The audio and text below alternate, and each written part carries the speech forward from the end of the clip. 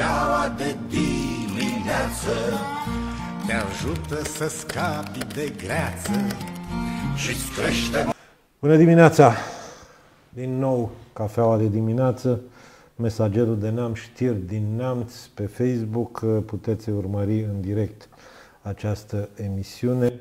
Vă anunț de la început că va fi o emisiune mai lungă, cu doi invitați, probabil una din ultimele emisiuni cu invitați în direct, dar astăzi am vrut neapărat să facem emisiune cu invitați pentru că atingem câteva subiecte extrem de importante. Înainte de a vă prezenta primul invitat, doar câteva știri, să le spunem așa, la zi.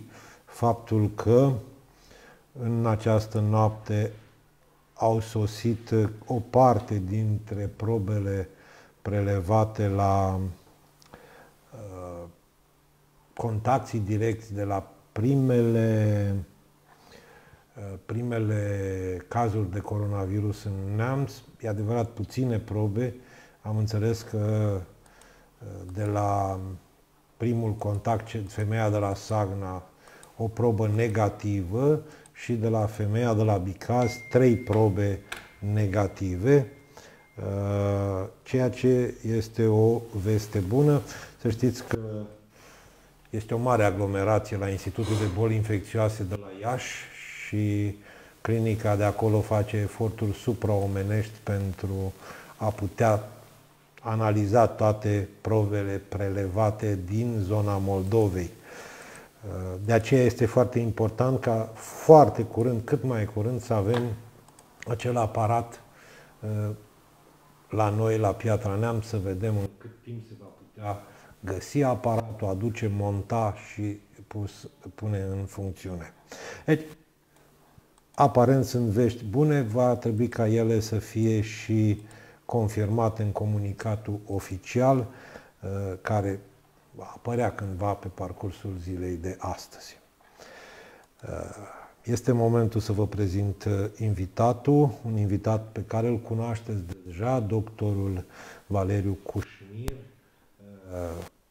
care a fost mai mult, în mai multe emisiuni în numele și pentru clinica oftalmologică Platinum Optic, Uh, și uh, este cazul să-i spun bine ați venit în emisiune. Bună dimineața!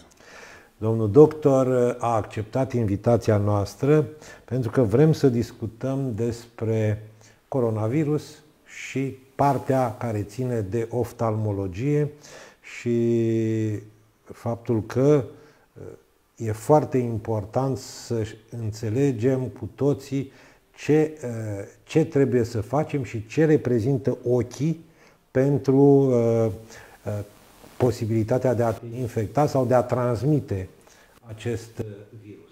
Domnul doctor, aveți cuvântul la început. Uh, haideți să spuneți-ne ce știți dumneavoastră despre acest uh, virus sau cum se cheamă el și după aceea discutăm despre ochi și coronavirus. Deci, coronavirusul, practic, mereu a existat, n-a fost o perioadă să fie fără el.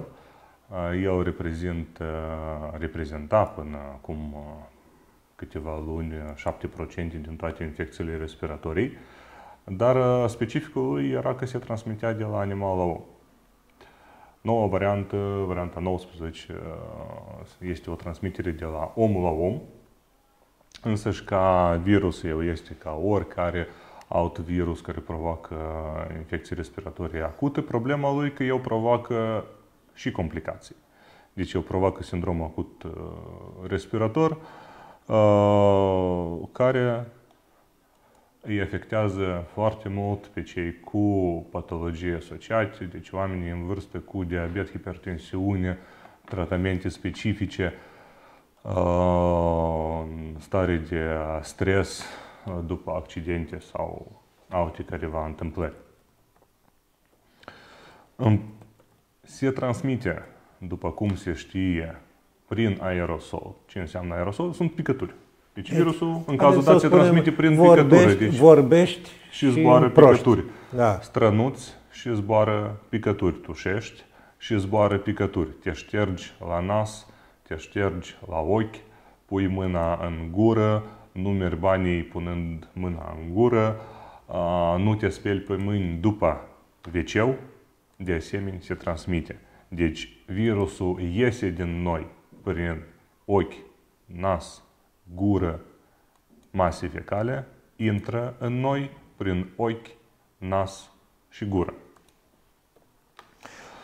Sunt uh, termeni de supraviețuire a virusului în jurul nostru. Deci dacă noi strănutăm într-o încăpere care nu este ventilată, virusul va supraviețui în aer în acea încăpere 2-3 ore, pe suprafețe din hârtie, carton până la 24 de ore, pe oțel și plastic până la 2-3 zile, iar pe cupru până la 5-6 ore. Deci totul trebuie șters, iar ca să scădem aceste 1-3 ore în încăpere în aer, până la practic zero, trebuie să aerisim încăperile. Deci aerisitul scade ventilarea, de, mai, va, ventilarea, ventilarea, chiar un pic de curent, exact, chiar un pic de curent, de curent da. un pic de mișcare aerului, scade numărul de virus în aer până la zero. Da. Deci ei se duc. Domnul doctor, spuneați de suprafețele pe care uh, rezistă virusul. Haideți dați-ne niște exemple, dacă tot ați deschis subiectul. O masă, calculator. Deci o masă. Șoricel. Calculatorul, mouse-ul. Uh, mouse-ul. Telefonul, telefonul, portmoneu, telefonul, portmoneu, pixul, ochelarul, orice, de ce ne atingem în mod clasic, cana pe care o purtăm cu noi prin toată încăperea, uh, carnetul în care facem uh, notițe. Deci se recomandă să fie dezinfectate și să fie respectat timpul de expunere.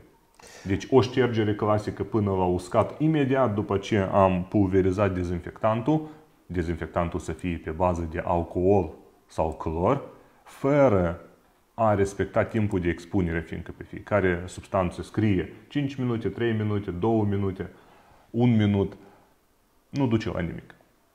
Deci trebuie să respectăm timpii de expunere, ca și cu spălatul mâinilor, ceea ce este practic una dintre cele mai uh, importante măsuri de prevenție, 20 de secunde.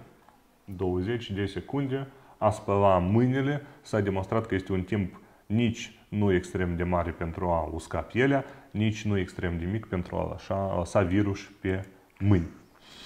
Referitor la oamenii care Vă rog. lucrează în mănuși, dacă să abordăm subiectul. Aha, da, deci mergi în magazine și vezi, sau la uh-huh. farmacii, sau în altă parte.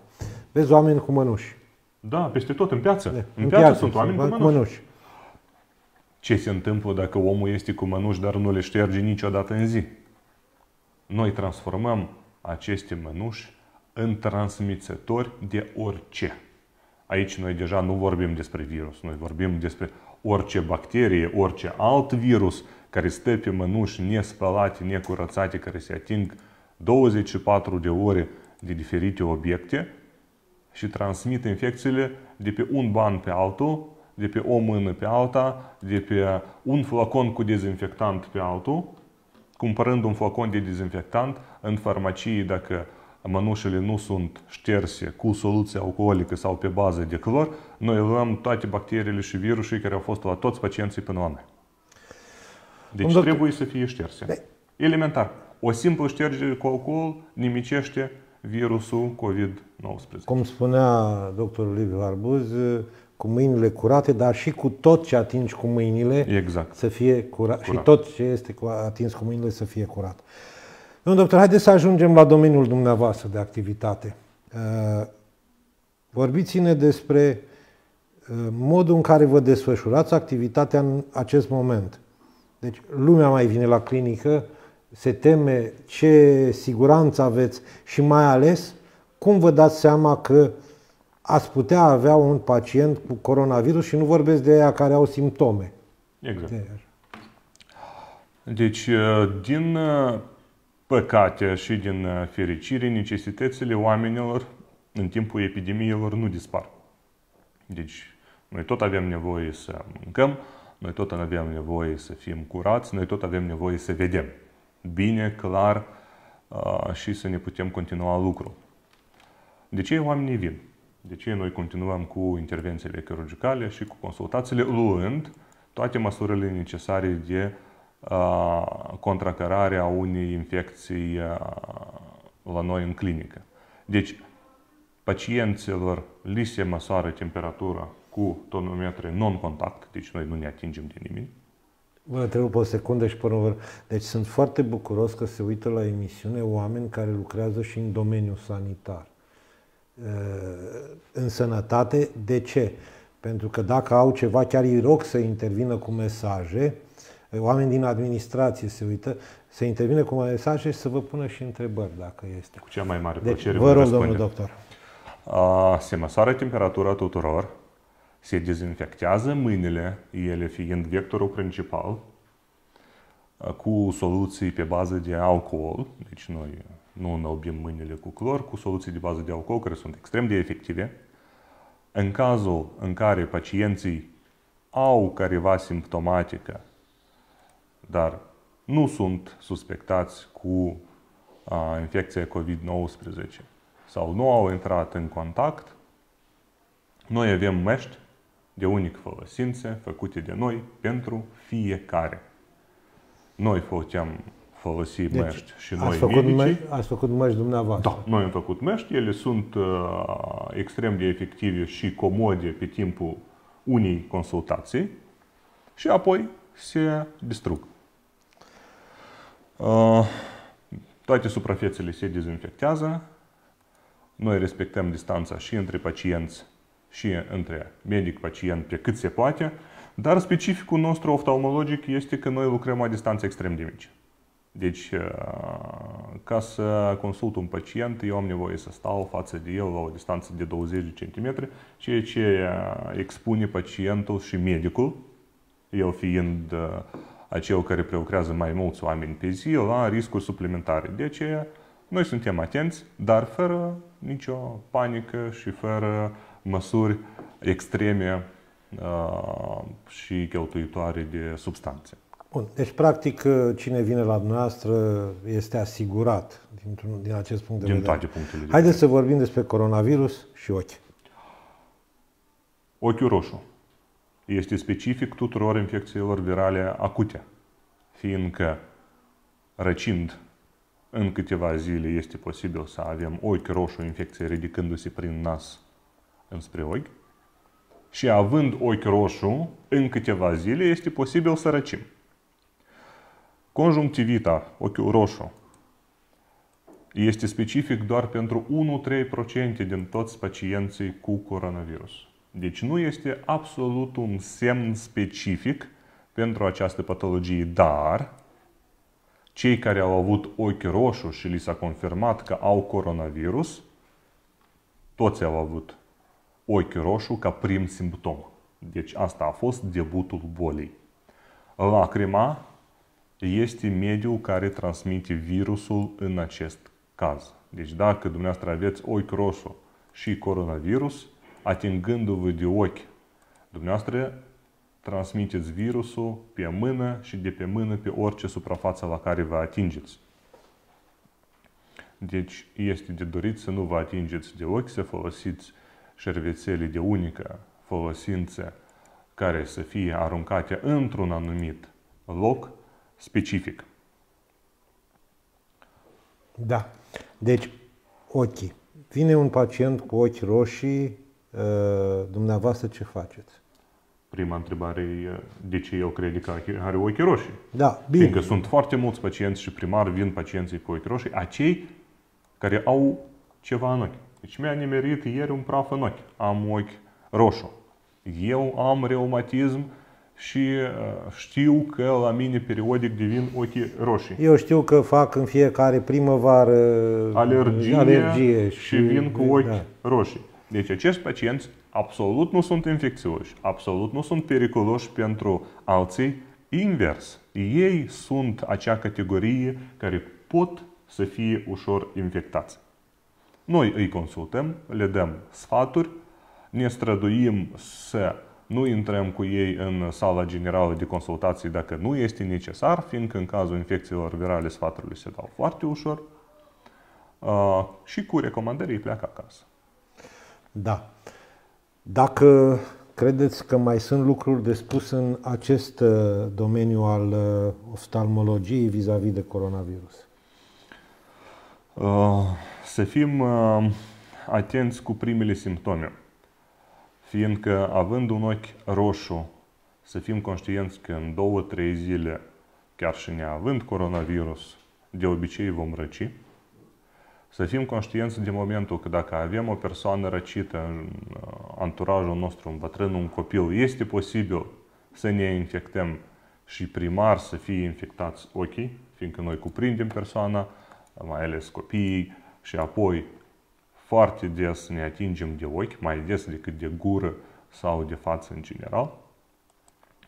Deci doar să fim atenți să fim conștienți că ochiul roșu poate să fie din cauza virusului, să venim pentru sfaturi la medic, în caz că nu ne dăm seama de unde vine sau avem nevoie de ajutor. Domnul doctor, vă mulțumesc tare mult pentru toate lucrurile pe care le-ați uh, transmis. Uh, acest material va rămâne pe site-ul Mesagerul pentru că e bine să uh, știm exact despre pericolele care ne pândesc atunci când uh, stăm de vorbă cu alții și vedeți, se transmite inclusiv prin lacrimi. Acest, uh, da, a fost demonstrat, se transmite prin lacrimi. Vă mulțumesc, vă doresc uh, activitate cât mai normală se poate. Apropo, sunteți afectați pentru că partea a doua emisiunii vă vom face pe uh, ceea ce înseamnă coronavirusul, mediul de afaceri. Bineînțeles că vom mai da și noutăți pe măsură ce le avem. Sunteți afectați la clinică în acest moment ca flux de pacienți? Ca, ca flux de pacienți suntem afectați, într-adevăr, dar ca servicii oferite azi, la momentul de față, chiar acum, noi nu suntem afectați, noi oferim toată gama de servicii, toate tipurile de consultații, intervenții, ajutor, tot ce are nevoie omul, noi îl putem asigura și îl asigurăm cu cea mai mare plăcere. Vă mulțumesc, vă doresc uh, Uh, cele bune și sănătate, așa cum dorim la toată lumea și vă așteptăm și la alte emisiuni. Până atunci, oameni buni, până când va ajunge următorul invitat în studio, vreau să vă mai spun câteva lucruri. Uh, în ce măsură ele sunt noutăți, dumneavoastră veți, uh, veți hotărâ. În acest moment se pare că la Iași să uh, internați la Spitalul de Boli Infecțioase Sfânta Paraschiva 32 de persoane și starea celor infectați cu COVID-19 este stabilă și în general bună. Ni se spune, spune, declară doamna Carmen Dorobăț, managerul spitalului de la Iași, este și locul în care se fac toate testele despre care aminteam înainte. Să spunem că în România deocamdată nu avem niciun deces, ba la Timișoara sunt vești foarte bune, acolo mai mulți pacienți, dacă nu mă înșel, 12, au fost externați și declarați sănătoși. Este o veste bună dacă ne raportăm la ce s-a întâmplat în Italia, unde ieri a fost un record absolut uh, bulversant de peste 450, dacă nu mă înșel, de decese într-o singură zi. Italia astăzi probabil va depăși uh, numărul de decedați, uh, va depăși China la numărul de decedați. Vom, vom discuta în perioada în minutele următoare despre modul în care mm, influențează coronavirusul viața noastră de zi cu zi. Și când spun asta, mă gândesc la tot ce înseamnă activitate uh, economică în, uh, în uh, județ și nu numai. Vedeți, dumneavoastră, sunt afectate absolut toate, toate domeniile de activitate și aici nu ne mai raportăm doar la uh, ceea ce înseamnă activitatea administrativă. Ne, ne raportăm la tot ce înseamnă activitate economică și dacă se blochează această activitate, evident că în secunda 2 avem tot felul de urmări. Oamenii uh, nu mai pot merge la serviciu, nemai putând merge la serviciu, nu mai sunt plătiți. În cele mai multe cazuri va crește numărul șomerilor și vom avea din ce în ce mai multe probleme din acest punct de vedere. A sosit în emisiune și invitatul de astăzi din partea a doua a emisiunii cu care sperăm să discutăm uh, acest aspect al uh, influenței coronavirusului, epidemiei de coronavirus la nivelul activităților uh, de zi cu zi. Domnul doctor Liviu Harbuz, care în acest moment Bună face curat la locul de muncă. Fac curat, dezinfectez pentru că, așa cum uh, spunea și domnul doctor înainte, o să vă spun și eu, suprafețele trebuie mereu dezinfectate pentru și că... cel puțin un minut, spunea domnul doctor. Un minut uh, din emisiunea noastră, ok, eu curăț și la dumneavoastră. Vă mulțumesc tare mult. Uh, chiar aș vrea să spun că tocmai mi-am schimbat ochelarii la clinica Platinum. Platinum și sunt foarte mulțumit, m-am bucurat să-l întâlnesc pe domnul doctor.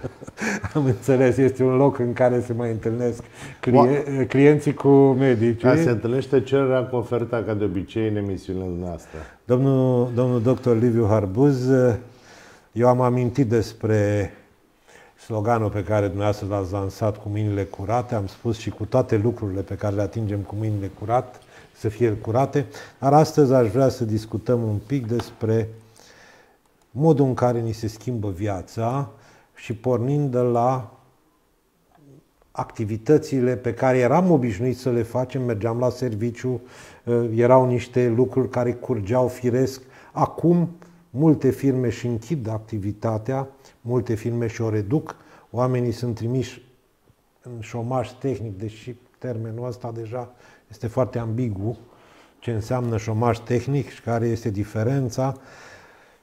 Cum vedeți dumneavoastră în acest moment lucrurile din acest punct de vedere? Păi spuneam uh, și în alte emisiuni de la dumneavoastră, trăim o schimbare de paradigmă, o schimbare de filozofie de viață, ne schimbăm comportamentele specifice, ne schimbăm uh, uh, obiceiurile, pentru că în această perioadă trebuie să ne adaptăm la condiții noi. Uh, dar există și o componentă, să spun eu, pozitivă în sensul în care ne regăsim în familie, ne petrecem mai mult timp cu familia, descoperim lucruri pe care nu le-am apreciat până acum, pentru că așa este natura omului, să descopere lucruri de calitate doar în situații, să aprecieze doar în situații de ananghie. Uh, da, suntem și asta vă transmit tuturor. Uh, stați în casă, rămâneți în casă. Deocamdată este singura măsură care într-adevăr contribuie la prevenirea și eradicarea acestei boli. Așa cum am văzut uh, în toate țările s-a adoptat această măsură, Mă scuzați, urmări, telespectatorii vă pot vedea pe dumneavoastră și urmăresc imagini filmate de noi, de noi ieri în diferite puncte din oraș.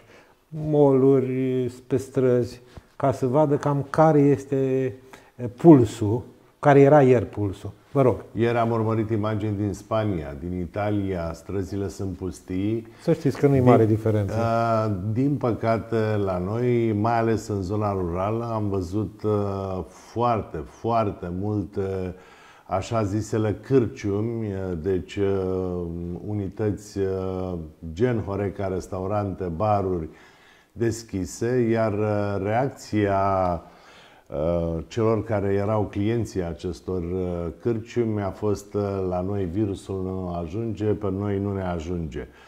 Această teorie a românilor, mie nu mi se poate întâmpla, poate deveni mortală în această perioadă. Deci rămâneți în casă, evitați zonele aglomerate, aveți grijă cu suprafețele, dezinfecția clanțelor, a meselor, a birourilor, oriunde atingeți, oriunde puteți, poate fi o zonă contaminată, aveți grijă să vă dezinfectați.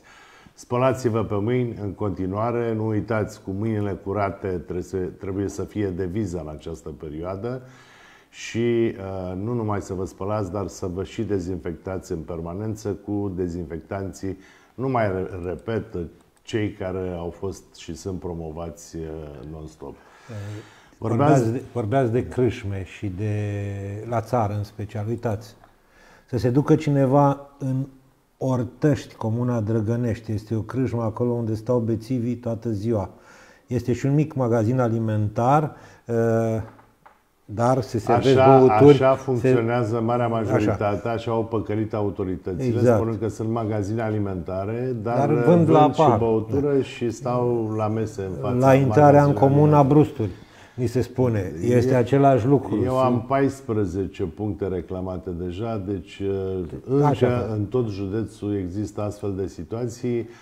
Uh, repet, gândiți-vă că fiecare persoană de genul acesta poate infecta, își poate efectiv omorâ familia, omorâ părinții, pentru că uitați-vă de la irresponsabilitate, de la minciună, ce s-a întâmplat în spitalul Gerota. Uh, mai nou avem un caz la Iași, avem uh, șapte cadre medicale. Avem și la Piatra Neamț. Uh, da, dar, de exemplu, la Iași un medic ATI și un radiolog. Spitalul a rămas fără radiolog. Patru asistente și o îngrijitoare au fost contaminate.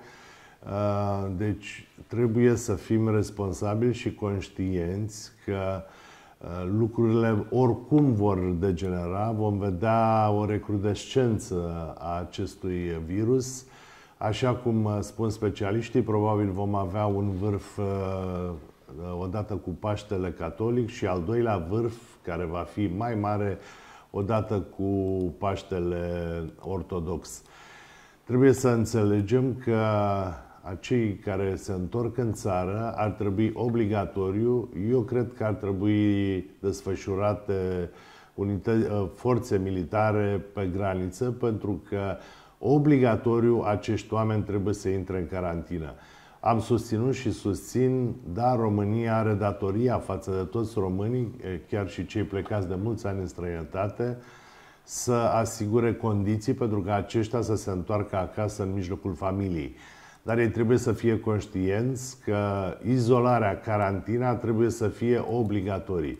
Mai mult ca niciodată avem nevoie de ceea ce în România nu prea a funcționat, măsuri extrem de severe, clare și uneori chiar radicale atunci când vorbim de circulația liberă a persoanelor care pot contamina alte persoane. Domnul doctor, nu vi se pare că, revin la, la subiectul respectiv, la țară toată lumea știe și și la oraș știe unde sunt aceste magazine. Mi se pare aberant să nu se intervină. Am impresia că forțele de ordine din mediul rural sunt depășite de situație sau se lasă depășite de situație. Da, sunt foarte multe situații în care, practic, efectivul acestor forțe de ordine, mă refer aici la poliție, este depășit pentru că avem comune în care avem doi polițiști care nu mai fac față, deși eu aș vrea să sprijinim și să încurajăm în această perioadă forțele de ordine. Au și ele nevoie de o adaptare la noul sistem. Trăim momente grele, dar momente noi. Lucrurile se schimbă, au o dinamică, se schimbă de la un moment la altul, măsurile se schimbă în funcție de situația prezentă. Deci, uh, în, într-un fel, uh, aș vrea să încurajez, dar în același timp aș vrea să fie responsabili și, și să ferm. fie extrem de exigenți exact. și fermi în ceea ce fac, pentru că Altfel, uh, gândiți-vă că putem ajunge în situația Italiei sau poate chiar mai rău. În Italia ieri au murit peste 400 de persoane. 450, deci 450 deci ceva de persoane. parcă. Este incredibil. Situația este foarte gravă. În Spania, la fel, uh, au murit, uh, cred că, 84 de persoane în 24 de ore. Ieri se anunțase. Deci, cu toții trebuie să fim responsabili și așa cum întreaga omenire spune, cum liderii politici, uh, mondiali. Am văzut discursul doamnei Merkel, care era vizibil emoționată și aș putea spune chiar panicată de consecințele acestei, de fapt, acestei componente medicală a crizei uh, virusului coronavirus. Uh, dar, iată, componenta economică vine foarte tare din spate și uh, se pare că vom avea un mare șoc mondial economic.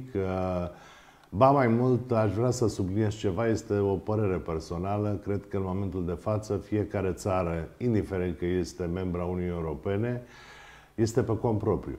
Trebuie să învățăm că suntem în acest moment pe cont propriu și nu mai trebuie să ne bazăm pe arbitrajul Uniunii Europene care ne spune că e bine, care ne spune că e rău.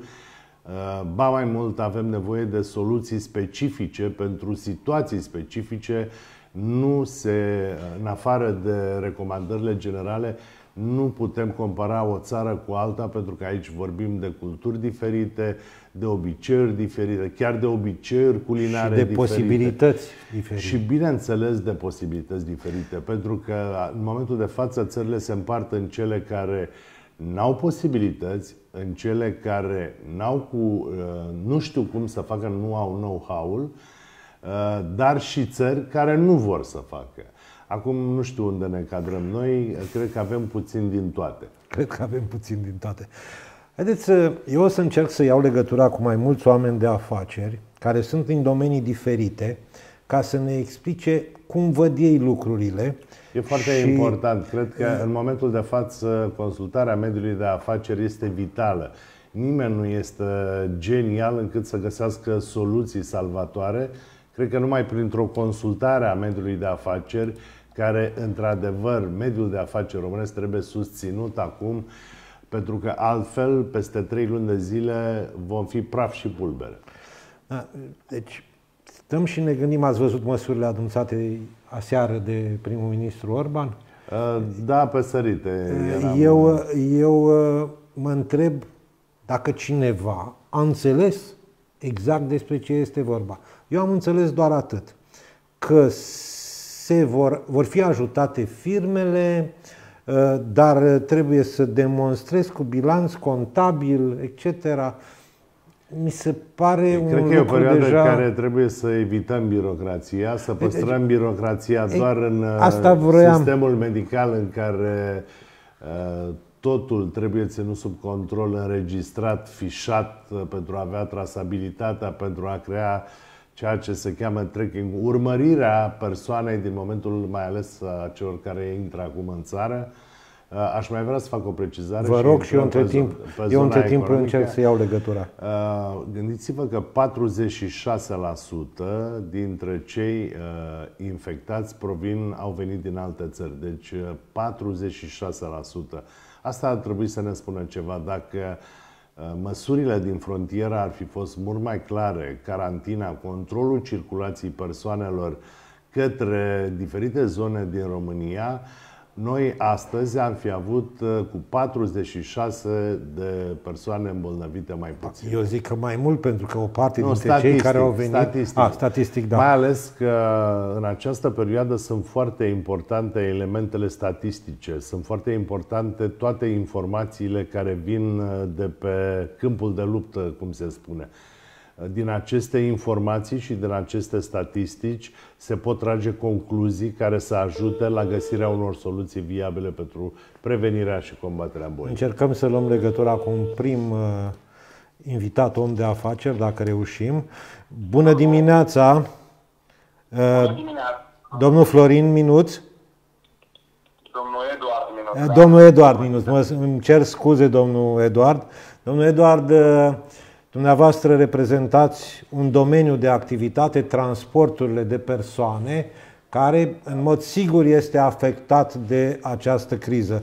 Domnul Eduard, spuneți-ne un pic, sunteți uh, administratorul firmei uh, Editrans SRL.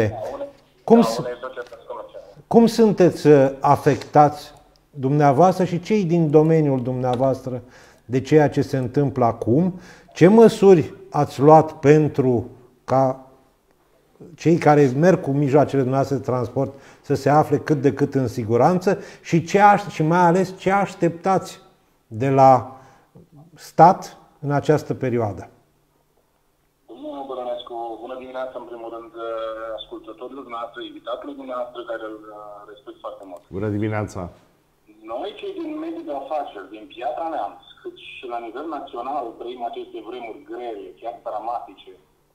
Mediul de afaceri așteaptă de la factorii de decizie, de la guvern, de la autoritățile locale, măsuri rapide, măsuri ce trebuiau luate deja pentru a clarifica situația.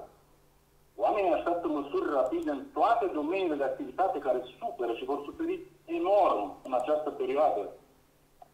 În oraș, în orașul nostru, cele mai multe afaceri sunt probabil închise sau vor fi închise în perioada următoare.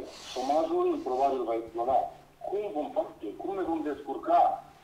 Cum vom depăși această situație critică care probabil va dura câteva luni? Sunt întrebări la care noi, mediul de afaceri, încă așteptăm răspunsuri rapide.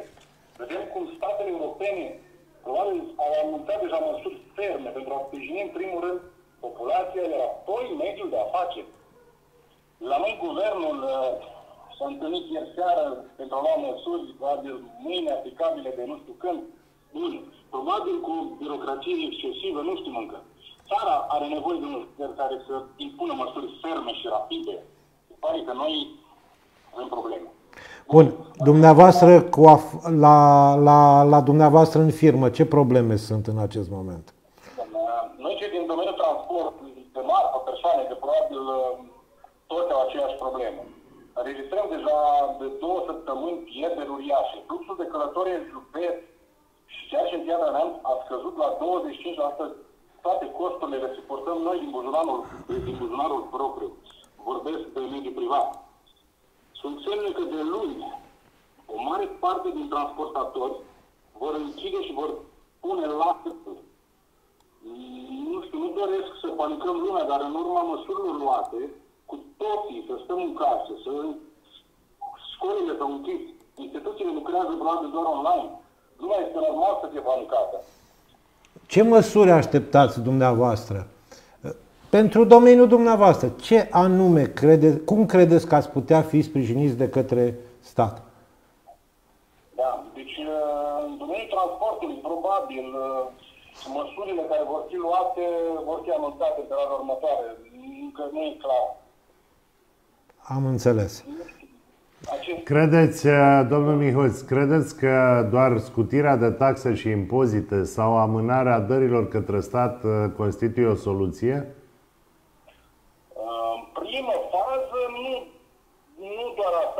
soluție. Scuterea de taxe din impozite și impozite, scuterea de la, pe o perioadă de o lună este foarte puțin, pentru că probabil perioada se va întinde pe minim 4-5 luni de zile. Da, deci va fi foarte greu. O lună de zile e perioada imediat următoare, dar probabil perioada critică se va întinde pe o perioadă de 3-4 luni. Da, din păcate, Horeca și transporturile au suferit uh, cel mai mult uh, și cred că aceste două domenii de activitate ar trebui susținute și cu soluții uh, viabile în consultare, desigur, cu transportatorii de către guvern. Nu este suficient doar să scutești de taxe și impozite. Pentru că dacă va continua trei luni la dumneavoastră, ferească Dumnezeu, dar falimentul este sigur. Mai ales că e vorba de credite, de leasinguri. Absolut, absolut. Aici uh, domeniul transporturilor, care de obicei este finanțat de către bănci, uh, rolul băncilor uh, în toată această situație este foarte mare și cred că băncile ar trebui să-și revizuiască puțin atitudinea, desigur, la inițiativa și cu sprijinul guvernului. Vă mulțumim tare mult. Vă dacă mai doriți să adăugați ceva?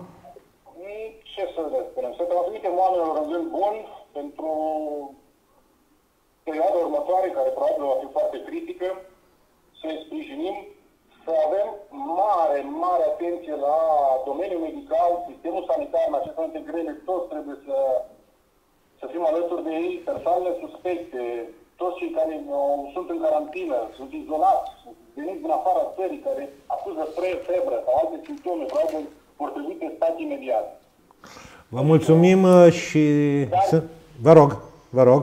Să fim solidari cu personalul medical, să respectăm măsurile de igienă și să sperăm că uniți vom, vom reuși să, să trecem pe aceste momente grele. Vă mulțumim tare mult. Mesajul uh, invitatului nostru prin telefon este as, ca și al nostru, de fapt, solidaritate, disciplină, să încercăm să fim uh, împreună în această criză. Domnul doctor, uh, ați primit o întrebare, sunteți mulțumit de măsurile luate până acum în România? Ați răspuns într-un fel la această întrebare. Acum am să vă spun ceva. Sunt mulțumit uh, parțial, sunt mulțumit de măsurile medicale, sunt mulțumit de parțial de măsurile luate de către autorități în ceea ce privește circulația persoanelor. Uh, dar sunt foarte nemulțumit de reacția unor cetățeni și de lipsa de responsabilitate. Aș vrea să subliniez că oricât și orice măsuri și reguli și stare de necesitate și stare de urgență ar institui Guvernul României, dacă ele nu vor fi respectate, rezultatele vor fi dezastroase.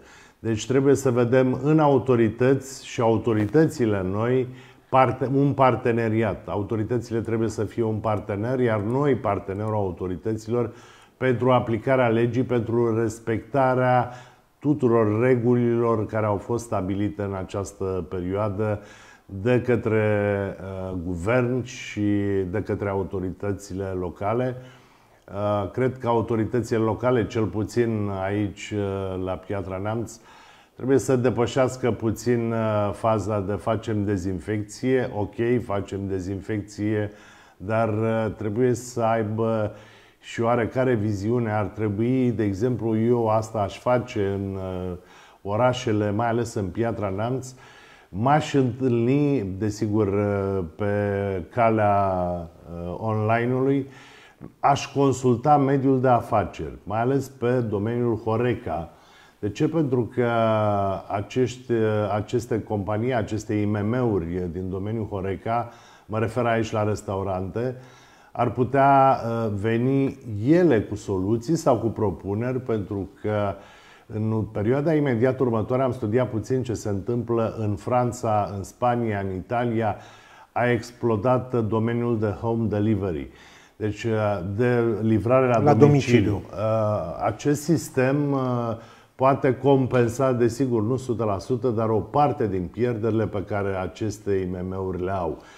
Cred că uh, avem nevoie mai mult ca niciodată de comunicare, de colaborare și de identificare de soluții împreună. Pentru că aici, fără o viziune și cu aplicarea strictă a, ca mereu aud, primăria face dezinfecție. Ok, Asta am înțeles, asta e cel mai simplu lucru. Ce facem economic cu economia orașului? Este sfatul meu către toți cetățenii. Mergeți și faceți-vă cumpărăturile de la magazinele alimentare uh, cu produse alimentare și de igienă în cartiere, la magazinele mici. Încurajați economia locală. Gândiți-vă că fiecare magazin de acest fel contribuie la bugetul local aveți dreptate și așa trebuie făcut. Dar uitați, primesc mesaje care uh, se învârt în jurul aceleiași probleme. Oamenii deja au achiesat la tema. Uh-huh. Bună dimineața! Vă rugăm să ne spuneți, spune doamna Marilena uh, Nicule, Nicorescu, pentru ce s-au mărit prețurile? Bun, de, ce, a, a, aici... de ce deci că bună întrebare, domnul Ursu Florin. În restul Europei prețurile se mențin sau se mișorează. Numai în România prețurile cresc chiar guvernul nu poate controla ba da, această speculă. Poate controla și chiar uh, s-a luat în discuție, domnul Victor Ponta ieri a propus uh, plafonarea prețurilor peste tot.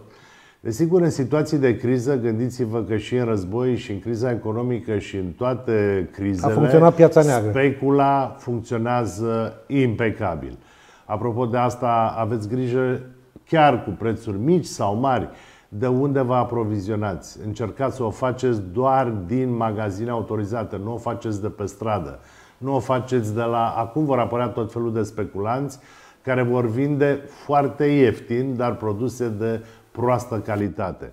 Desigur, se impune această măsură, plafonarea prețului și uh, combaterea uh, celor care încearcă să profite în această perioadă, deci combaterea speculațiilor. Domnul doctor, combatem specula, dar uitați, alaltă ieri, prețul unui bilet din Madrid în București cu avionul, cât a mai circulat, era 146 de euro pe cap de pasager. La ultima cursă, prețul a fost 500 și ceva de euro, făcut, stabilit de către cine? Compania de stat Compa- Tarom. Bine, ei spun nu, că nu, și-au compensat... Sta, sta, puțin. A, f- a fost situația, am văzut și eu o analiză făcută, asta s-a întâmplat și cu Lufthansa, s-a întâmplat și cu KLM-ul. Prețurile au crescut pentru că au impus nu se acele măsuri. Da. Nu, măsurile ca între uh, pasageri să fie un scaun liber. Deci a fost prima dată când s-au impus, deci avioanele au zburat la jumătate de capacitate. Acum am să vă spun ceva, domnul Bălănescu, nu trebuie să vă mire. Nu știu de câte ori, dar eu care zbor mereu în afara țării... Eu nu prea zbor. Dacă mi s-a întâmplat. Deci, de exemplu, dacă eu luni vreau să-mi iau pentru joi un bilet de avion Bruxelles sau Madrid este un preț. Costă, costă, da. poate să coste și 800 de euro. E și dacă îl iau într-un weekend și peste dacă 3 luni... Dacă iau, bine, nu mai vorbim de cele care sunt da. pentru Uh, petrecerea unui weekend. Dar uh, sunt lucruri care trebuie bine analizate, să nu trecem în extreme. Într-adevăr, uh, doamna, Eu vorbeam de semnal. doamna care vorbea mai devreme și întreba de ce nu se plafonează prețurile, da, eu consider că aceasta este o măsură fezabilă de plafonare a prețurilor și de control a speculei. Și de făcut foarte rapid. Uh. Toate trebuie făcute Deci nu rapid. mai e timp de discuții. Aminteați de domeniul Horeca. Să încercăm să găsim un... Uh, am consultat agenda. Să găsim un, uh, un uh, reprezent... Bună ziua! Bună ziua! Bună ziua! Vă mulțumesc că ați răspuns invitației noastre de astăzi, domnul Marius Novac. Vă rog frumos să ne spuneți, în calitatea dumneavoastră de om de afaceri și om care se ocupă cu Uh, restaurante, cu cluburi, ba. Uh, să ne spuneți cum sunteți afectat în acest moment, că bănuiesc că la dumneavoastră lucrurile sunt foarte clare, a trebuit să închideți, nu? Evident, nu, nu doar că a trebuit să închidem, uh, cel puțin restaurantul a fost închis și nu numai al meu, majoritatea patronilor de restaurant au închis de sâmbătă duminică. Era previzibil ce se va întâmpla și nu, nu, noi am anticipat mai mult decât atât, era și o măsură oarecum prudentă în a nu avea situații de genul unei uh, anchete epidemiologice în, uh, în situația în care cineva infestat ar fi intrat acolo. Lucrurile astea sunt mai, uh, mai, mai uh, dificil de rezolvat decât uh, faptul că în momentul ăsta închidem și pierdem niște bani. Uh, nu știu ce să vă zic, e fără discuție foarte greu. Uh, e, nu, e un, un, toată lumea vorbește și face comparații cu, de, cu falimentul. Nu, nu, nu, nu. Falimentul e, e previzibil. Falimentul presupune niște etape. Falimentul presupune disponibilizări. Falimentul presupune preavize. Acum nu. Acum e pur și simplu un stop-joc. Foarte, foarte interesant. Domnul Novac, uh, bună ziua, Liviu Harbu sunt. Bună ziua, bună ziua. Uh, vreau să vă întreb uh, în contextul în care astea sunt realitățile, cu asta ne confruntăm, ceea ce ați subliniat este real și din păcate perfect valabil. Spuneți-mi, credeți că, de exemplu, la nivelul orașului Piatra Neamț, Puteți apela la o reconversie să vă transformați în firme de home delivery, de livrare la domiciliu, pentru că în curând nu o să mai iasă nimeni pe stradă, iar cererea pentru uh, livrare la domiciliu va fi foarte mare. Mă uit ce se întâmplă în București, m-am uitat ce se întâmplă în toate orașele din Spania, Italia. E adevărat, acolo există altă cultură. Uh, credeți că ar funcționa? Evident, este o soluție. Pentru că măcar aveți nevoie de o soluție măcar de supraviețuire în perioada asta. Sunteți practic sectorul cel mai afectat. Iar uh, măsurile pe care s-au luat sunt prin lege, adică dumneavoastră n-ați închis doar de frica îmbolnăvirilor, uh, dar ați închis pentru că așa spune legea. Iar statul în momentul în care dă o lege care să îți interzică activitatea, automat ar trebui să vină să susțină și să compenseze pierderile economice.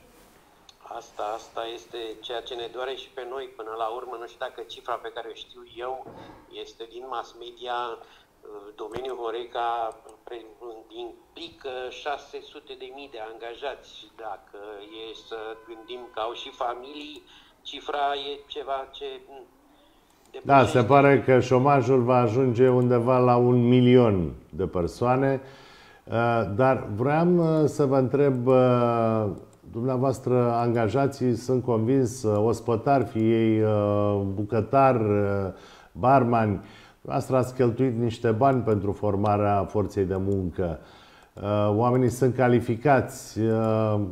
E o mare pierdere atunci când îți pierzi forța de muncă calificată în care tu, ca patron, ai investit foarte mult. Momentul ăsta să-i pierdem. Sincer, am fost pus în situația foarte neplăcută de a sta în fața lor marți seară și duminică seară, pentru că cafeneaua pe care o am închis-o doar marți, în urma ordinului, restaurantul era închis de duminică, să stau în fața lor și să nu am, ce răs- nu am nicio soluție să le dau. A rămas să ne auzim la telefon. E un la revedere atât de, de, de sec și de, de pus în, nu știu, mă văd pus în situația neplăcută de a nu le oferi certitudini. Și ceea ce nu înțeleg și ceea ce cumva, nu știu, aici probabil o să încep și să fac niște niște afirmații care, nu știu, fac o paranteză. Într-adevăr, am, ca orice om, niște afiliații politice, niște simpatii, uh, dar uh, care presupun și un oarecare subiectivism pe care mi-l asum. Dar eu, în tot ce am să zic de acum încolo, mi-ar plăcea să cred că e obiectiv. Nu Vă rog. înțeleg de ce, de, ce, de ce nu există predictibilitate. Nu, nu, nu pricep de ce măsura asta care a venit marți seară n-a venit imediat cu, o, cu, cu, și cu măsurile compensatorii. Nu înțeleg de ce, practic, există modele pe care le vedem în altă parte, nu știu, la, în, în Europa. A, să știți că situația, situația cu acest specific Horeca este în toată Europa. Toți sunt aproape în faliment. Evident, și atunci mă întreb dacă în 26 februarie noi aveam primul caz în România și în Italia erau 400 până la primul, primul, prima măsură preventivă a fost în 8 martie, au trecut 11 zile. Uh, nu știu, e, Italia a închis restaurantele acum 8 zile. Evident, lucrurile astea, e foarte simplu să vedem ce au făcut bine și atunci să copiem acele modele. Absolut, a, asta... Să nu facem ca ei. Aveți mare dreptate, ar fi trebuit să învățăm bunele practici, mai ales că în, uh, acest, uh, în această nenorocire, în această pandemie, nu există experiență, lucrurile se învață de la o zi la alta și ar fi trebuit să învățăm de la cei care au trecut uh, prin criză. Da, aveți mare dreptate. De ce?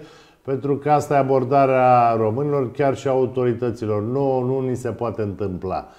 Ne-am îmbătat cu apă rece că au fost 19 uh, persoane vindecate, uh, că nu avem uh, încă decedați, dar lucrurile vor evolua în această perioadă cu o viteză mult mai mare. Da.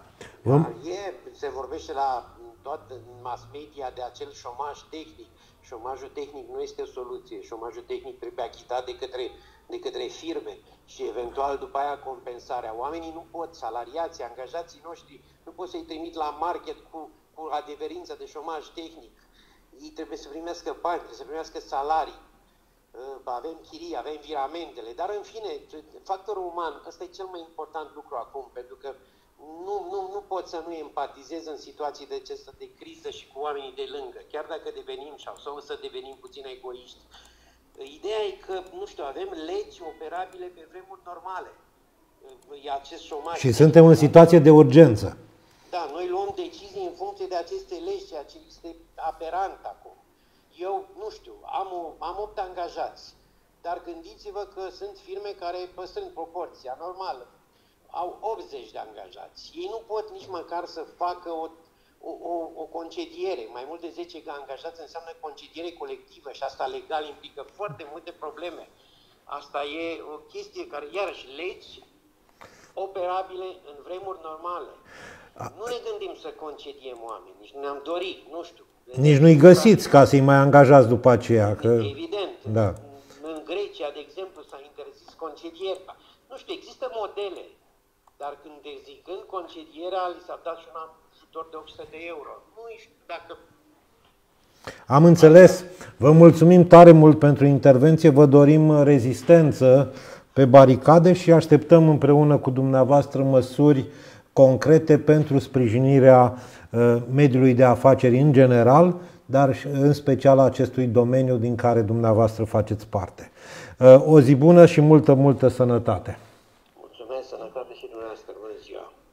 Este, uh, putem considera ca un fel de strigă de disperare. Situația este dramatică în aceste două domenii, mai ales Horeca și Uh, partea de transporturi, dar uh, cred că în acest context, în loc să stăm și să ne plângem de milă, să căutăm soluții. Să avem soluții, iar uh, una din soluțiile pe care eu o văd este, repet, suntem pe cont propriu, haideți să vedem care sunt domeniile rentabile, într-adevăr, în economia românească, domenii care cărora până acum nu le-am dat mare atenție, ba chiar de multe ori au fost subfinanțate și mă refer tot la domeniul privat. Haideți să ne gândim puțin la ceea ce înseamnă producția de alimente. Agricultura. Producția, agricultura, toată agricultura. Gândiți-vă că în urmă cu 2 ani de zile noi am omorât cu mare lejeritate, am sacrificat pentru păsta porcină africană uh, sute de mii de porci iar acum uh, importăm 80% din uh, porcul uh, consumat în România este din import. Ne-am distrus marile combinate de creșterea porcului, nu am susținut cum ar fi trebuit industria avicolă, respectiv carnea de pasăre. Deci Discutăm noi suntem și despre porcul acela crescut în gospodărie pentru Vorbim consum. și despre faptul că a fost la un pas guvernul acum uh, trei săptămâni sau o lună, deci în prag de criză, să interzică creșterea porcului în gospodăria populației. Ce bine era acum ca fiecare gospodar să aibă 10 porci în curte, lucrurile erau mult mai simple. Pentru că, uitați-vă, dacă cineva ar face o analiză Uh, pasul până la o eventuală criză alimentară nu este foarte mare. Uh, încă lucrurile se derulează normal. În supermarketuri vorbim, uh, cei de la supermarketuri vorbesc despre un canal securizat de transport, că se vor face aprovizionările în timp și nu vor fi sincope. Dar uh, totuși uh, mă gândesc că acum guvernul ar trebui să facă o infuzie puternică de capital și nu la nivelul la care vorbea domnul Câțu de 2 miliarde. Gândiți-vă că Franța, Germania uh, s-au gândit la infuzii de 400 de miliarde în piață, în economie, iar noi vorbim de 2 miliarde, care nu vor ajuta cu nimic economia. Mi s-a părut genial ce a făcut domnul Becali, care a mers la Braikov Brăila și a spus, nu mai faceți cămăși, cămăși faceți echipamente măști. de protecție și măști. Da, este, că, este o intervenție a unui om pragmatic. Sunt lucruri noi și trebuie să venim cu soluții noi, nu putem veni cu aceleași soluții birocratice. Trebuie să avem, să fim vizionari, mai ales că acest lucru nu se face doar pe un termen foarte scurt, pentru că pe termen mediu vor apărea uh, Uh, efectele crizei economice. O să încerc să luăm... Reconversia capacităților de producție, mă gândeam, aduceți-vă aminte cum în timpul războiului o fabrică de conserve se transforma în fabrică de tancuri peste noapte. Deci haideți să ne gândim și la astfel de soluții de reconversie a uh, profilului uh, celor care au capacități de producție. Haideți să ne adaptăm la piață Nu doar să producem de dragul de a produce, pentru că ne cere guvernul să producem, dar ceva care nu se mai vinde.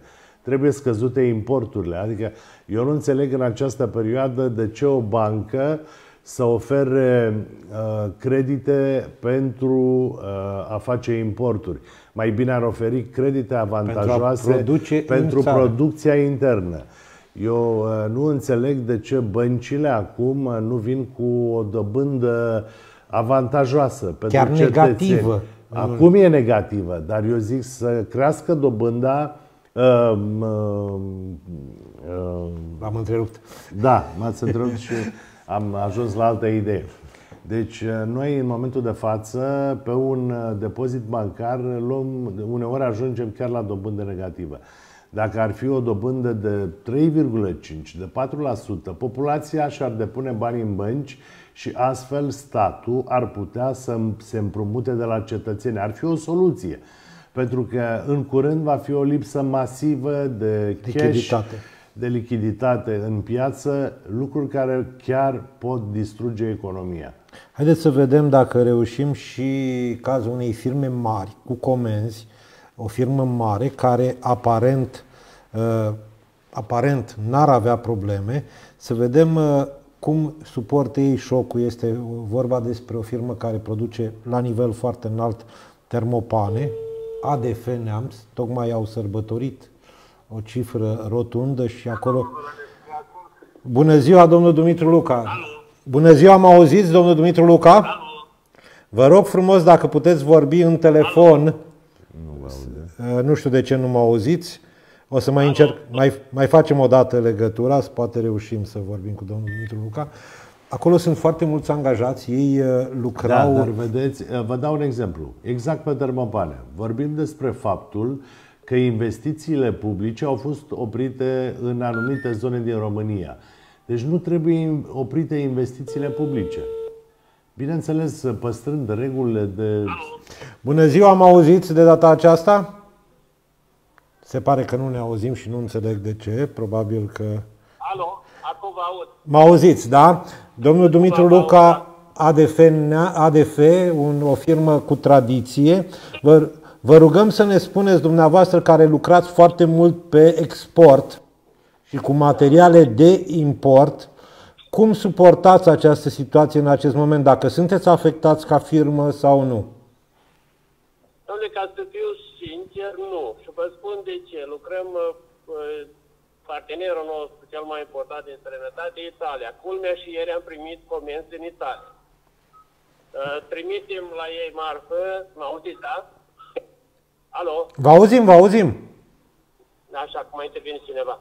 Deci trimitem marfă permanent și acum avem trei tiruri pe drum, mai am marfă în stoc. Nu știm, o, într-adevăr, o scăzut, nu mai este aceeași pondere. Din Germania și din Austria am primit până în prezent toate comenzile ne sunt onorate, mă refer la ferărie și la profil. Am înțeles. ce că întâmplăm. Mai degrabă sunt foarte supărați și se întâmplă în infer. Sunt, este lumii care în loc să-și vadă de treabă, vehiculează fel de fel de prostii. Și prostii în ghilimele zic și vă dau câteva exemple. Spune că băi, la ADF au închis, au trimis acasă 85% din oameni, ceea ce nu este adevărat. N-am trimis unul, noi tot sunt câțiva plecați în concediu, e normal să fie în concediu, e logic.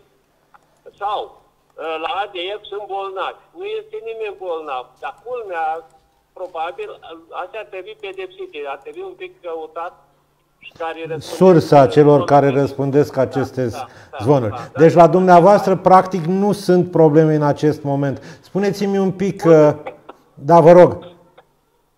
Deci pot să zic, a scăzut, nu mai este același ritm, dar dacă dă Dumnezeu până la sfârșitul lunii, cred că fac producția care am făcut-o la uh, aceeași lună, corespondent cu anul trecut. Deci luna martie anul trecut, uh, sper să fie 100%. Iar primele două luni au fost mult peste. Iată, uh, vă mulțumesc tare mult că ne-ați uh, transmis acest mesaj. Este un semn încurajator că încă mai sunt domenii în care se fun- funcționează lucrurile. Vă, domnul doctor Liviu Harbuz, care este cu mine în emisiune, vrea să vă adreseze o întrebare. Uh, bună ziua, domnul Luca. Care este opinia dumneavoastră despre politica din România acum pentru stoparea investițiilor publice? Pentru că Eu sunt convins că dumneavoastră exportați Italia și în alte țări, Germania, dar multe din aceste materiale sunt folosite și în investițiile publice, chiar dacă dumneavoastră le exportați în privat. Nu, noi numai în privat, deci eu nu lucrez cu statul. Nu că m-am ferit, eu politica firmei noastre, lucrăm 90-99% cu numai cu firme private. Da, da, am înțeles. Dar aceste firme private lucrează pentru stat în acele țări. Uh, de exemplu, nu Rom- Nu, nu, nu, nu, nu, nu, nu neapărat. Am făcut școli proprii, e adevărat, da, dar noi lucrăm, suntem uh, producători, dar nu lucrăm direct. Deci ei sunt partenerii noștri, ei iau marca de la noi și mai departe este treaba lor. Da, am înțeles. Dar ce pot să vă spun legat, legat de stat? Dar totuși vreau să nu mă înșel, văd că se interesează de noi. Sincer, și vă dau câteva exemple. Am fost chemat la bancă sau vinea banca la noi, dar eram prin zonă și m-a întrebat dacă am nevoie de ceva, dacă pot să mă ajute. Nu-i cazul, cel puțin deocamdată. A, deci ați avut un semnal de la o bancă. Dacă sunt dispuși da. să vă ajute... Fin... Care lucrăm, da, sigur, e dispusă dacă avem... Și am mai primit telefon, deci a doua sau a treia oară. Am primit uh, mesaje de la patronatul de care aparținem dacă ce îmbunătățiri sau cum vedem sau ce să cerem. Doar și guvernul. Normal, dacă noi de jos nu știm și nu spunem, nu, să, nu pot să vii. Sunt atâtea de diversificate, atâtea societăți, atâtea unități.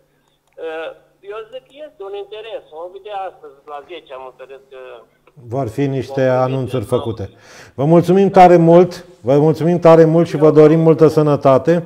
Uh, domnul Dumitru Luca probabil că au această politică, nu interesează ce se întâmplă mai departe, ei vând produsele. Ba, să convins că interesează mm. pentru că oricât n-ai vrea să te intereseze, trăiești uh, într-o economie, într-un circuit, da. într-un uh, Dar e bine circuit că... închis și poate deocamdată nu are probleme, ferească Dumnezeu, problemele pot apărea. Eu încercam uh, să vorbesc despre ceea ce înseamnă investiții publice, care investițiile publice, deci susținute de către bugetul de stat, care nu înseamnă doar uh, școli, înseamnă și spitale, înseamnă și locuințe. Uh, cred că ele nu ar trebui să fie oprite, de altfel Germania, Franța au făcut o infuzie în buget pentru a susține construcțiile, tot ce înseamnă construcții publice. Uh, avem, uh, Proiecte. avem o observație, ni se spune de către un telespectator, un tele, telespectator, telespectator care și vede. Da, care și vede, statul se poate împrumuta de la populație doar prin emiterea de obligațiuni, nu prin mărirea dobânzilor la depozite bancare nu, era un împrumut statul, indirect. E indirect. Da. Statul se împrumută de la bănci, dar băncile se capitalizează pentru că exact. până acum băncile nu au făcut altceva decât să cumpere titluri de stat. Și nu ăsta este rostul, uh, bine, unele dintre ele, nu chiar toate. Și acum aș vrea să discutăm o problemă mai delicată și dacă putem să o discutăm cu foarte multă sinceritate. Eu am o senzație pe care o simt doar atunci când, uh, uh, să vă spun eu, simt un pericol în aer. De câteva zile observăm că numărul de teste pozitive la nivel național crește, crește dar nu crește într-un ritm. Uh, Bun, dar vom avea uh, o groază de români care se vor întoarce în țară nu, în perioada următoare Nu aveți senzația, de dumneavoastră nu aveți senzația exploda, că în acest da. moment nu uh, ori nu ni se spune câte teste sunt, nu. ori nu se fac suficiente teste nu. și deci, circulă foarte mulți oameni. Sunt uh, probleme, e adevărat. Uh, Iașiul are o mare problemă. Păi. Doar la Iași am văzut această problemă de întârziere foarte mare. Avem uh, cazurile Clujul, de la Neamț. Clujul, Timișu nu au întârziere atât de mari. Nu înțeleg, au înțeles că e vorba de aparatură învechită. Bun, și aici uh, vorbeam de uh, achiziții. Da, uh, guvernul, uh, prin starea de urgență, a permis achiziții din surse directe, dar uh, eu sper ca experții profesioniștii să opteze pentru cea mai bună aparatură, pentru că există aparate și aparate, vorbim aici de PCR-uri, există metode și metode, vorbim de kiturile rapide și tot am auzit de kiturile rapide.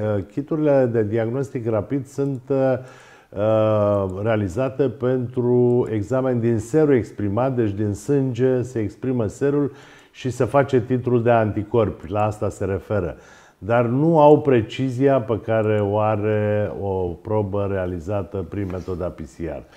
Să luăm exemple de la Piatra Neamț, de exemplu. De, să luăm exemple, sunt și eu obosit. Uh, avem cazul acelei doamne care lucrează la DGASPC, care a intrat în contact cu foarte multă lume, s-au prelevat probe. Nu avem niciun rezultat până în acest moment. Da, și cred că este a patra zi. A patra zi. Și eu aștept cu îngrijorare acele rezultate. Cred că patru zile deja este foarte este mult. foarte mult. Cei de, la Iași, direct. cei de la Iași sunt depășiți. Cred că ar trebui, din punct de vedere al diagnosticului, susținut Iașiul pentru a realiza mult mai repede, a da rezultatele. Pentru că întârzierea acestor rezultate are și un impact epidemiologic. Pentru că aceste persoane pot la rândul lor, multe dintre ele, să autoizola la domiciliu pentru că asta le-a dictat propria conștiință. Nu pentru că da. cineva le-ar fi... Nu pentru că le-a impus cineva, dar gândiți-vă că la fel de multe persoane umblă libere prin oraș și intră în contact cu foarte multe persoane, iar așa cum ați văzut din uh, bunele practici uh, Italia, Spania, China, din ce s-a întâmplat acolo, Uh, o persoană a reușit să contamineze sute de persoane. Deci e principiul dominoului. A căzut o piatră, cad încă 500. E ca și în cazul măsurilor acesta, acestora compensatorii care nu s-au luat odată cu ordinul uh, de... Poate că astăzi, uh, la ora 10, am înțeles, sperăm că vom avea soluții și nu Uh, așa cum declara premierul ieri, uh, vom identifica soluții. Este foarte greu, e adevărat. Trăim niște momente unice, nu există experiență, nu există statistică, nu există predictibilitate. Cineva vorbea de domnul Novac, parcă de predictibilitate. În situația asta, despre ce predictibilitate să mai vorbim? Nu știu, cred că prima măsură care ar fi putut să o ia guvernul, așa, la uh, foc automat, domne, luna aceasta anulăm contribuțiile pe care trebuie să le dea firmele la stat. Nu cred că e suficient. Dar nu zic, prima măsură, ca poți tu, ca uh, administrator, să spui, bă, am bani și pentru luna viitoare. Eu pentru aștept că... o susținere da. reală pentru tot După ce aceea să venim cu restul. românească, firme, companii românești rentabile, care în momentul de față trebuie susținute pentru a compensa ne uităm că cea mai dezvoltată în vreme de pace, dar aminte în vreme de război, este industria farma. România a avut uh, tradiție în industria farma. Încă mai putem uh, revitaliza foarte multe unități și nu numai uh, unități, ci și sistemul de management al tot ce înseamnă material aparatură medicală. Am înțeles că cei de la Farmec din Cluj își retehno... Deci, toată producția. este reconversia de care vă da. vorbeam, da. pentru că uh, o companie cu un management corespunzător S-a face o reconversie, adaptează pieței, cerințelor pieții, pentru că până la urmă important e ce vinzi.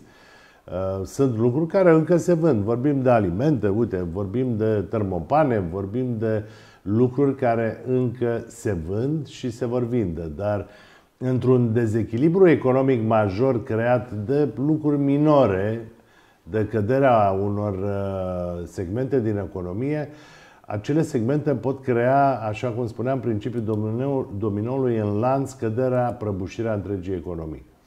Să sperăm că la ora 10, deci peste foarte puțin timp, vom avea vești bune uh, care să inducă un sentiment de siguranță sau de mai mare siguranță pentru cetățeni. Domnul doctor, dacă mai adăugați ceva în, acea, în acest moment, că după aceea ne mutăm să, să vedem ce spune domnul Orban. Da, să ne mutăm uh, pentru că e mai important ce spune domnul Orban decât uh, ce spun eu.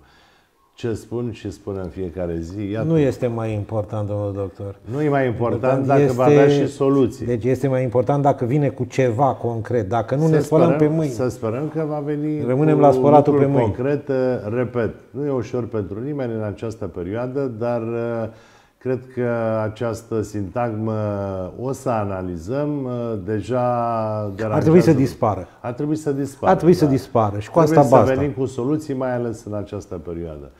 Ce aș vrea să spun este, mă bucur că planeta a luat o gură de oxigen și măcar trăim uh, ceva mai sănătos dacă facem abstracție de coronavirus.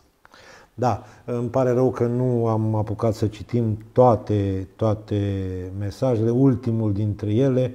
Vârful epidemiologic în România va fi la sfârșitul lunii aprilie, spune un... Da, va un, fi imediat, la... chiar de Paștele Catolic, între uh, Paștele Catolic și Paștele Ortodox. La cât de sărac este guvernul României, nici nu știu dacă mai are cu ce garanta împrumuturile pe care le face. Aici cred că nu e o problemă. Bună, e vorba de un, un lucru de care n-am vorbit. În momentul de față e o prostie ca guvernul să mai fie obsedat de deficit, de procentul de deficit. E vorba de acel... De 3,5% care a fost stabilit și care anul ăsta urma să ajungă la 4,8%. Deficitul nu mai constituie o problemă în perioada de criză. Nici o țară europeană, vă nu mai ține eu, cont de asta. Nu mai ține cont de deficit. Da. Dar oricum, mesajul telespectatorului este interesant. Lumea începe să se gândească și la acest gen de lucruri. S-a depășit... S-a schimbat da. filozofia da. vieții, s-au schimbat absolut toate lucrurile.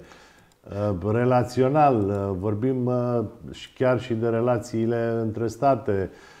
Uitați-vă China uh, vine cu soluții exacte pe zona medicală. Deja se vorbește despre un vaccin uh, care va fi făcut în China, un, în competiție foarte bună, un vaccin uh, care este Germania... finanțat de către Comisia Europeană, vorbim aici de 80 de milioane de euro. Să sperăm că vom avea în timp util acest vaccin, deci Uh, să faci un vaccin, elaborarea unui vaccin este o chestiune foarte complexă. Vă mulțumesc pentru participarea la emisiune. Să sperăm că ne întâlnim și joia viitoare, că lucrurile vor fi ținute sub control. Să fim sănătoși până atunci să fim cu sănătoși. Toți. Și așteptăm și rezultatele care trebuie să vină de la Iași nu numai în cazul de GSPC, ci și în cazul primarului Dragoș Chitici și a celorlalți care, cărora uh, li s-au prelevat uh, probe. Și să ne vedem sănătoși, nu? E cel mai important, să ne vedem cu toții sănătoși și cu spectatele, spectatorii dumneavoastră, cu cititorii dumneavoastră, cu toată comunitatea nemțeană. Eu sper că în această perioadă Uh, comunitatea să fie mai strânsă și, într-adevăr, să vorbim uh, despre responsabilitate și solidaritate. Să depășim toate, toate neînțelegerile și să fim uniți, să fim solidari și mai ales Da, eu chiar am spus că băgăm politica în carantină da. și asta ar fi foarte bine. Acum n-aș vrea să închei glumind, dar se pare că politica a intrat în carantină, n-au intrat în carantină toți cei care trebuiau să intre în carantină. Oameni buni, cele bune la ora 10, declarații se pare din partea primului ministru al României, să vedem dacă vor aduce lucruri bune sau vor fi toat, doar tot paliative. Ne oprim aici, cele bune!